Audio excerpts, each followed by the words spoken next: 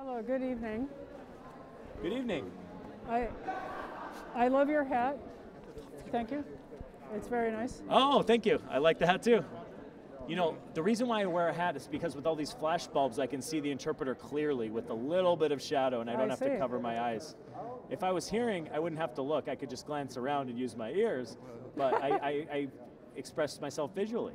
Well, that's terrific. And you have a great translator because you're so animated and wonderful doing what you do for him. Will you tell him that?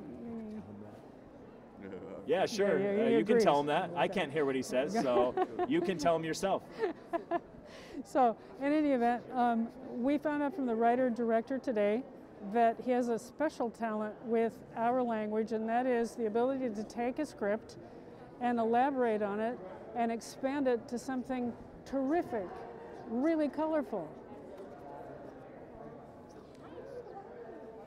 American Sign Language, really, it depends on the script. So when I received the script of Coda, and there was a few lines in the script that were some F-bombs, we'll say. Okay. And so I can really play around with American Sign Language and the choices I make as an actor. Because in sign language, you can really expand. There's a lot of synonyms. It's not just one phrase, but in when it's printed in the English language, it's really meant for your ears to interpret.